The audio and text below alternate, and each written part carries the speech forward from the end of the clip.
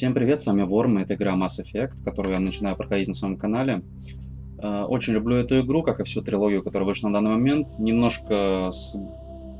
исказила впечатление концовка третьей части, но потом BioWare ее пофиксили, и в принципе все стало более-менее сходно, сгоже и нормально. Прохожу в связи с выходом э, в скором времени новой части Mass Effect Andromeda. Проходил данную трилогию достаточно давно.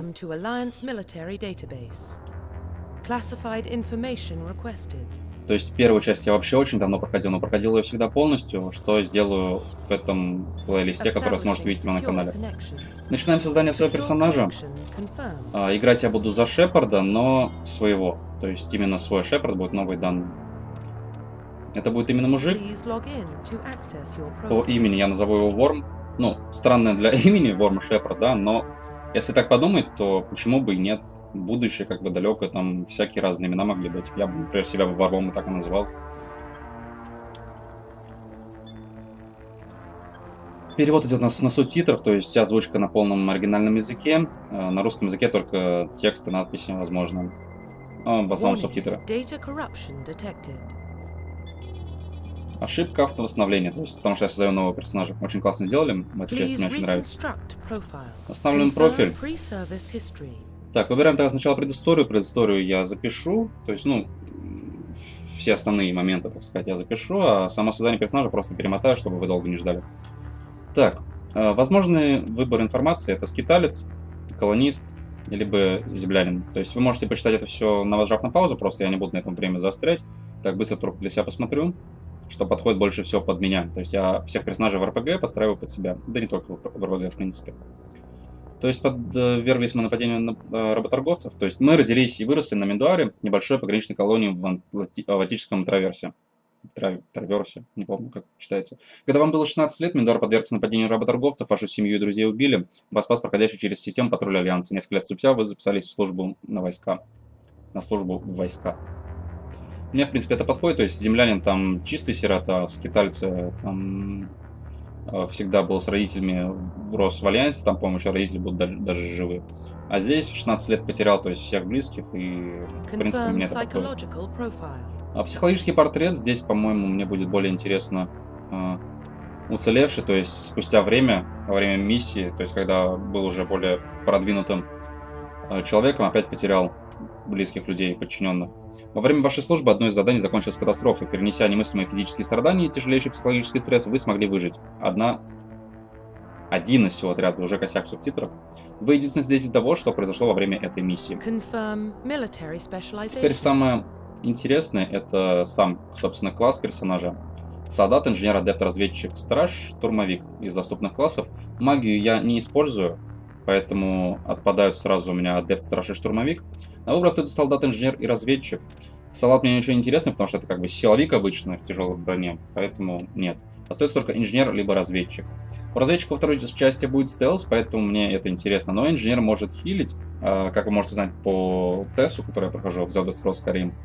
Я люблю именно хилыша, чтобы у меня был. А специалист, инженер это делать может принципе. Но все равно в приоритете все-таки у меня будет здесь стелс-снайпер такой.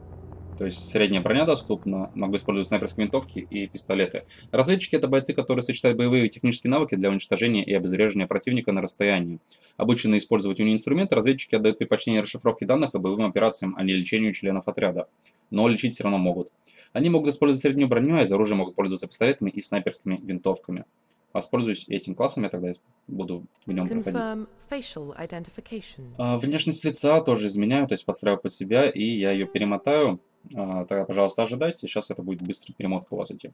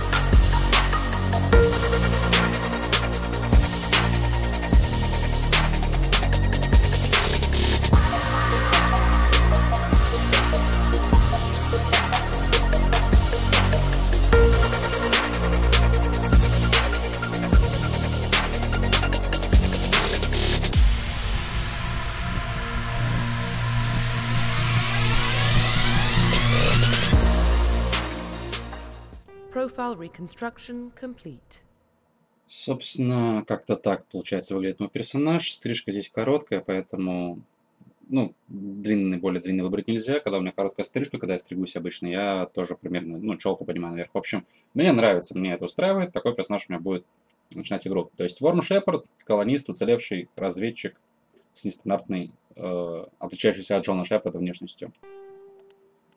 После завершения создания персонажа изменить какие-либо параметры будет невозможно. Подтверждаем. Уровень сложности боя поставим потяжелее, то есть трудный. Как видите, мне невыносимо безумно недоступно, хотя на трудном я уже проходил, но сейва я стер специально, чтобы у меня начиналось все с самого начала. Автораспределение поставлю как нубяра на отряд, чтобы отряд сам качался. Почему я это делаю? Почему не прокачиваю сам? Извиняюсь. Потому что персонажи, они все уникальные, так скажем. И я хочу, чтобы каждый персонаж, каждый мой соратник, он сам для себя решал, что ему нужно в прокачке. Поэтому прокачивать я не буду. А, сложность автоприцеливания. Давайте автоприцеливание мы, мы уберем, чтобы было посложнее целиться. Мы же за снайпера все-таки играем, да? Так поинтереснее будет. А, используем меня отрядом. Да, окей, сами будут использовать по своей инициативе э, умения. Если у них что-то сохранится, то я также могу их направить. А мы начинаем. Субтитры, скорее всего, буду читать, чтобы вы себя не утруждали. Если там кто-то на фоне смотрит, например. Чтобы могли послушать, что происходит. Итак, что же с Шепардом? Он вырос в колониях. Он знает, как легко бывает там жизнь. Его родители погибли при нападении работорговцев на Миндуар. На Кузе он пережил гибель своего, своего подразделения. Такие вещи не проходят без последствий для психики. Кто видит смерть товарищей, у того потом всю жизнь душа болит. Шепард такой парень. Такой же человек нам нужен, чтобы защитить галактику. Он единственный человек, который может защитить галактику. Я приму решение.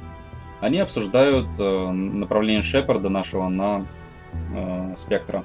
В 1148 году исследователи обнаружили на Марсе останки древней цивилизации космических путешественников. В течение нескольких последующих десятилетий эти артефакты открыли тайны новых удивительных технологий, позволивших совершать полеты к самым далеким звездам. Основ... Основной... Основой этих технологий стала сила, способная изменять саму ткань пространства и времени.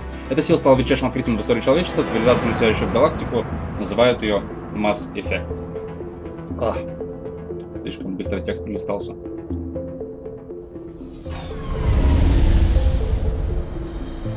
Обожаю эту игру, черт, прям ностальгия вообще.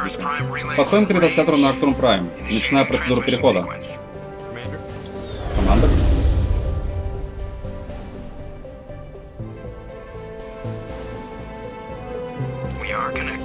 Мы подключились. Где-то расчет транзитной массы и направления. Ретранслятор в режиме. Выходим на вектор. Всем постам приготовиться к переходу.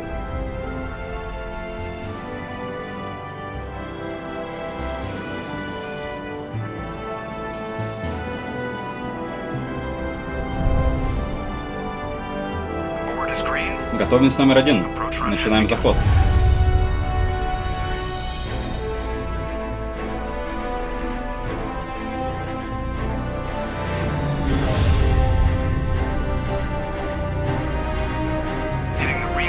Контакт с ретранслятором через 3, 2, 1.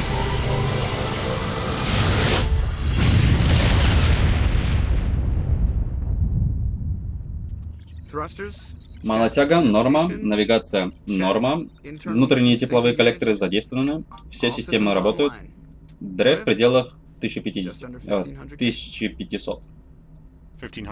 1500 это хорошо, ваш капитан будет доволен. Ненавижу этого типа. Найлус сделал вам комплимент, и ты ненавидишь его. Если ты вошел, вышел из сортира и при этом не забыл стегнуть комбез, это хорошо. А я только что совершил прыжок в всю галактику и попал в цель не больше спичечной головки. И это уже потрясно. К тому же Спектр это не к добру. Не к добру. Мне не нравится, что он на борту. Считайте меня параноиком. Вы параноик. Совет помог профинансировать проект, но у них есть право проверить, на что пошли их инвестиции. Да, официально все именно так. Но только идет верит в официальные версии. А, ну, в принципе, я с ним согласен. Отыгрывать я буду такого нейтралитетного чувака, но по силу и до борту будем применять по мере необходимости. Но, в принципе, я с Джокером сейчас согласен. Спектров не посылают на тестовые полеты. Значит, здесь что-то больше, чем нам говорит капитан. Джокер, доложите обстановку. Только что прошли через ретрансатор, капитан. Стелс-система запущена, на вид все спокойно. Хорошо, найдите коммуникационные буи и к сети. Я хочу, чтобы начальство получило наш доклад до того, как мы достигнем Иден Прайм. Слушаюсь, капитан. Советую застегнуть все пуговки. В вашу сторону движется на Найлос. Он уже здесь, лейтенант.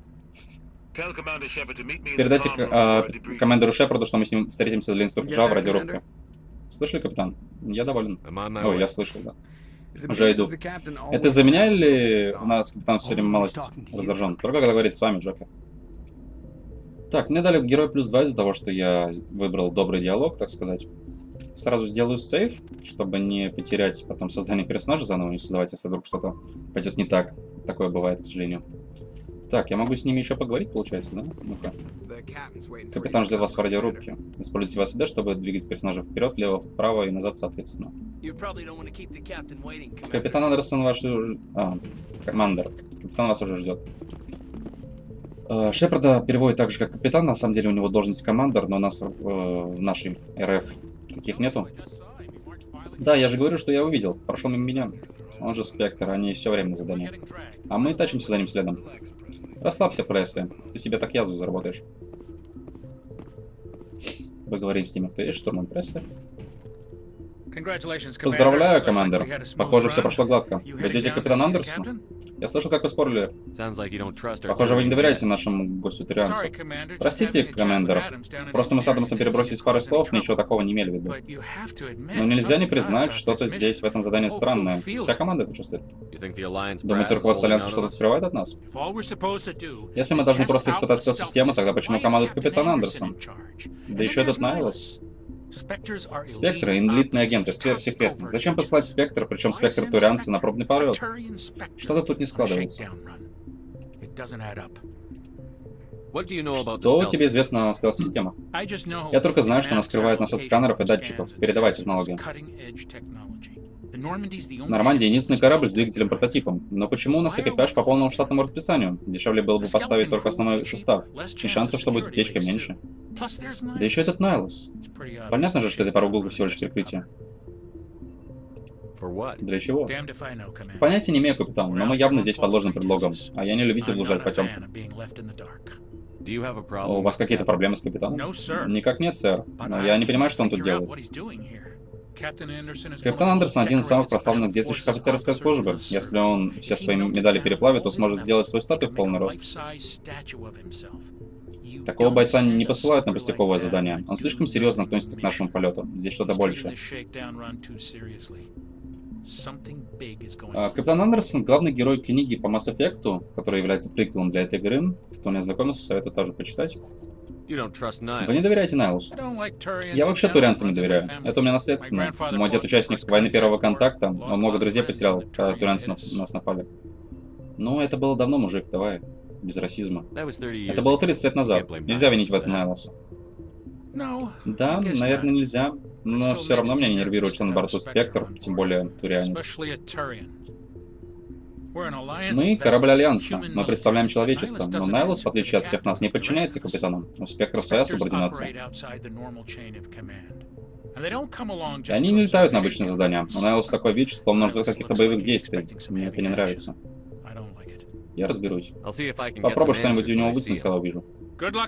Удачи, капитан. Командер. Не капитан, а командер.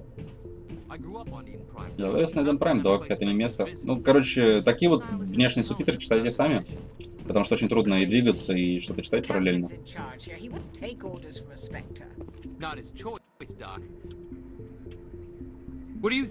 Как вы думаете, командир? А мы ведь на этом прайме долго проводим? У меня руки чешутся по настоящему делу. Я искренне надеюсь, что вы шутите, капрал. Ваши настоящие дела обычно кончаются тем, что мне приходится штопать вас в лазарете. Ну, доктор права. Лишь дурак ищет драки капрал. Простите, командир, но я скоро помру от ожидания. Первый раз у меня такое задание, и спектр на борту. Делайте свое дело, выполняйте мои приказы, никаких проблем не будет. Вам легко говорить, вы до себя показали на Кузе. Все знают, на что вы способны. Для меня, это большой, для меня же это большой шанс, я должен показать начальству, на что я способен.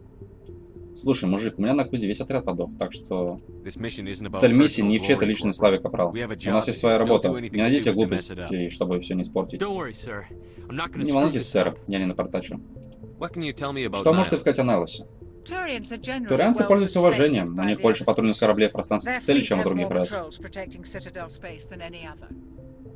Хотя с нами у них не всегда хорошие отношения, кое-кто считает их слишком упрямыми. Другие до сих пор винят их в пер... войне первого контакта. Лично я с Найлосом лишь обмолвился пару слов. Он в основном общается только с капитаном Андерсоном. Вот бы увидеть его в деле. Я слыхал, Найлос как в одиночку перебил целый взвод. А, война первого контакта — это когда люди впервые вышли только в открытый космос, когда развили свои технологии, смогли использовать ретранслятор и встретили сразу же турианцев. А, так как люди сразу были агрессивны, не приветствовали никаких странных существ, плюс турианцы впервые увидели тогда людей. Началась у них между ними война, по-моему, она 300 лет продлилась всего в целом. Может меньше, я не помню точно, может быть 30 лет. Ну, в общем, можете погуглить, кому это интересно, в принципе. Я потом тоже это посмотрю, чтобы быть в теме, так сказать. Что вы знаете о спектрах? Только то, что рассказывают. Агенты спектра подчинены непосредственно Совету Цитадели. Обычно они работают по одному или небольшими группами. Однако официальных полномочий спектров нет. По сути, это тайная организация, которая поручена охранять и защищать стабильность галактики. Да, защищать любой ценой. Вот о чем не забывайте. Спектры стоят выше закона. Это опасно. Как же контролировать агента с неограниченными возможностями? Я полагаю, если агент выходит из-под контроля, Совет лишает его статуса спектром, после чего за дело берется служба безопасности Цитадели. Громилу с СБЦ не будет. Ни единого шанса. Спектр стоит 20 обычных солдат. Спектры сами себе полиция. Если агент зашалит, послать того другого агента, чтобы он шлепнул. Вот им и прокурор и суд. Капрал путает драматические легенды с реальностью, капитан. Почему среди них нет ни одного из нашей расы? Обычно спектры — это выходцы из рас, входящих в совет. Например, торианцы. Мы уже несколько лет пытаемся добиться, чтобы в их ряды приняли человека, но до сих пор этого не произошло. Эй, капитан, а из вас не хороший бы спектр вышел. Не всегда дают невыполнимые задания, приходится побеждать... Приходится побеждать при невозможном соотношении сил, прямо как э, вам на Акузе. Мужик, на Акузе полег весь мой отряд. Это грустная история, одна из важных, э, одна из самых сильных психологических травм за всю жизнь моего Ворма Шепарда. Там погибло 50 космопехов, Джегенкинс. Простите, командер, я, я не хотел вас обидеть. Я уважаю то, что вы там сделали. Мы все уважаем. Давайте не будем углубляться в прошлое, капитан. Вам что-то еще нужно, командир? Так, Иден Прайм. Вы ведь сами с Иден Прайм, верно, Дженкинс? Как оно там? Тишина и покой, капитан. Командер. Колонизацию проход... э, проводили очень деликатно, так что на планете сейчас нет... Э, Мои родители жили на окраине колонии, по ночам я бывало ходил на холм и глядел через поля на огни главного поселения. Очень было красиво. Но когда я стал старше, то понял, что меня там слишком уж тихо. Потому пошел на службу. Даже Рай в конце концов не надоедает. Есть идея, почему у нас отправили на Иден Прайм? Я точно не знаю, капитан. Иден Прайм — одна из самых стабильных колоний. Вполне подходит для тестового полета. Ничего опасного там нет и быть не может. Но что-то там, видно, случилось, раз на спектр на борту. Вот я и места себе не хожу. Никак не могу дождаться, на... Никак не могу дождаться настоящего дела. Меня ждет капитан Андерсон. До свидания, капитан. Да, не думаю, что я буду прям всю игру читать субтитры, потому что это довольно сильно утомляет. Но давай разберемся. Эту серию все-таки дочитаю, там уже перед следующей посмотрим, как будем себя вести. Так, это, собственно, сам Найлус, Вектор Турианец. Командир Шепард, хорошо, что вы пришли первым. У нас будет возможность поговорить. Поговорить? О чем? Меня интересует та планета, куда мы летим, Эден Прайм. Я слышал, она довольно красивая. Я не знаю. Я там никогда не был. Но вы не знаете, для вашего народа Эден Прайм имеет символическое значение, так? Доказательство того, что человечество способно не только создавать колонии, но и защищать их. Но так ли там безопасно? Вы пытаетесь меня напугать, Спектр. Ваш вид еще новичок, Шепард. Галактика может быть очень опасным местом. Действительно ли Альянс готов к этому? Думаю, пришло время рассказать капитану, что на самом деле происходит. Это задание не пробный перелет. Я догадался, что вы чего-то нам не говорите. Нам нужно незаметно забрать кое-что с Эден Прайм, поэтому понадобится специалист по тайным операциям. Должна быть какая-то причина, которую вы не назвали, сэр. Приказ поступил с самого верха. Информация предоставляется по принципу необходимого знания. В ходе раскопок на Эден Прайм ученые нашли какой-то маяк, видимо, протеанский.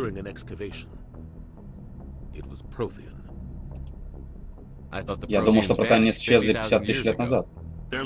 Но осталось их наследство. Ретрансляторы, цитадель, двигатели ваших кораблей. Все это основано на протанских технологиях. Дело слишком важное, Шепард. Последний раз подобное открытие дало человечеству технологический скачок на 200 лет вперед. Но на Eden Prime нет возможности работать с такими предметами.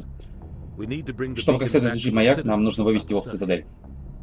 Очевидно, капитан, что это в интересах не только человечества. Открытие повлияет на все расы в пространстве Совета. Почему не оставить меня к себе? У вас, людей, не самая лучшая репутация. Некоторые расы считают вас эгоистичными, слишком непредсказуемыми, слишком независимыми, даже опасными. Поделившись этим открытием с другими, мы улучшим свои отношения с Советом. К тому же нам нужна их научная помощь. Они знают о протонах больше, чем мы. Маяк не единственная причина, по которой я здесь, Шепард. Найлос хочет увидеть вас в деле, капитан. Он хочет вас оценить. А, почему? Что происходит, капитан? Альянс уже давно добивается этого. Человечество хочет играть более важную роль в межзвездной политике. Мы желаем оказывать больше, больше влияния на Совет Цитадели. Спектры представляют власть и авторитет Совета. Если они примут свои ряды человека, это продемонстрирует, сколько многого смог добиться Альянс. Немногие смогли бы пережить то, что вам пришлось пройти на Акузе. Вы проявили выдающийся волю к жизни. Это весьма полезный талант. Вот почему я выдвинул вашу кандидатуру на место Спектра. Зачем Турианцу нужно, чтобы среди Спектров был человек? Не все Турианцы обижены на людей. Некоторые из нас видят в вашей расе полезный потенциал. Мы знаем, что вам есть что предложить остальной галактике и Спектрам. Мы элитарная группа. Те, в ком есть нужные нам качества, встречаются нечасто. То, что вы человек, Шепард, для меня все равно. Главное, что вы способны делать эту работу.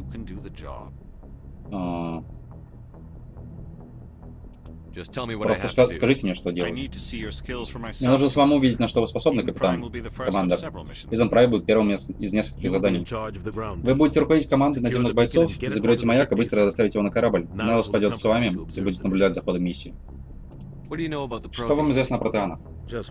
Ровно то, что чему учат в школе. Технически развитая раса правила галактики 50 тысяч лет назад. Потом исчезла. Как и почему, Никто точно не знает, хотя теории я слышал множество. Но все согласны, что без них цивилизация в галактике не существовала бы вообще в принципе. Их цитадель сердца галактического общества. Без их ретрансляторов были бы невозможны межзвездные путешествия. Мы все в огромном долгу перед протеанами. Мне бы хотелось больше узнать об этом прямо прежде, чем мы там окажемся. Что ж, мирная аграрная планета, но за всем этим стоит нечто большее. Иден Прайм одна из наших небольших, самых больших и старых э, успешных колоний, миров. Мы показали, что готовы к заселению новых миров. Это человечество способно выйти за пределы Земли. Что человечество способно выйти за пределы Земли? Иден Прайм — символ эволюции человечества до космической расы. А теперь прославится еще и как место, где люди совершили открытие галактического масштаба. Почему этот маяк так важен? Вся современная цивилизация в галактике основана на технологиях протеан, даже ваша. Если бы мы не нашли протеанские развалины на Марсе, то до сих пор были бы заперты на Земле. Там был всего лишь маленький диск с данными. Кто знает, чего нас научит этот маяк? Что, если это архив э, по вооружению? Нельзя, чтобы он попал не в те руки. Кому, например? Атический траверс не самый стабильный сектор пространства Цитадели. Там орудует немало разбойников и криминальных группировок. Они могут решить, что британский маяк достаточно причина, чтобы рискнуть и напасть на корабль Альянса. К тому же Прайм находится на самом краю системы термина. Атический траверс находится под защитой Цитадели. Если системы термина нападут на нас, это будет актом войны. Теоретически да, но некоторые расы в системах термина могут быть не против развязать войну. Последнее, что нужно Цитадели, это ввязывание в масштабный конфликт с системой термина. Так что мы должны сделать все без шума. Приказывайте, капитан. Мы уже на подходе к Эден. Капитан, у нас проблема. Что случилось, Джокер? Сообщение с Эден Прайм. Лучше сами посмотрите. Выводи на экран.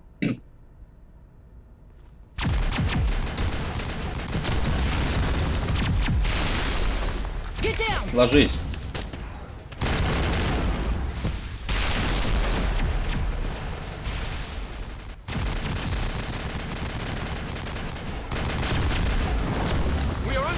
На нас напали, несем тяжелые потери. Повторяю, тяжелые потери. Мы не можем... Эвакуация, они свалились ниоткуда. Нам три...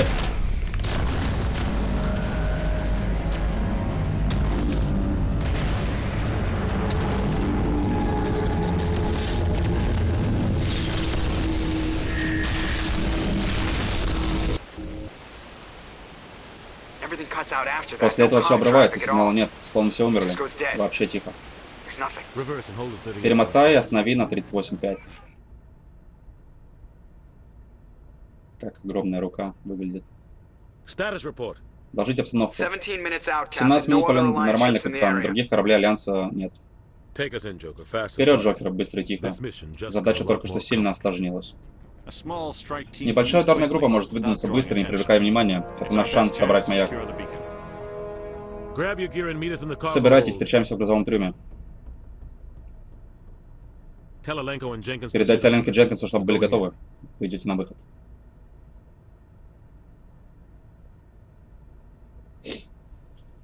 Фу. Включаю стелс-систему.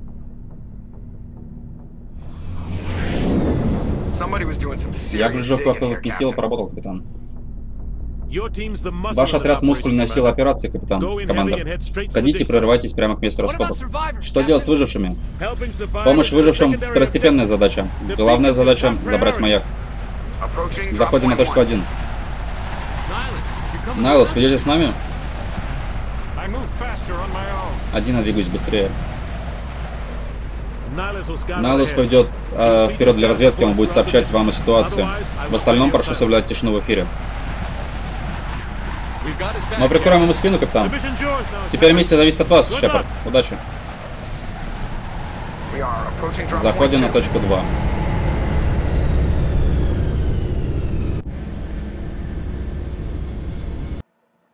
Так, собственно, начинается сам геймплей игры. По периметру все э, спокойно, команда.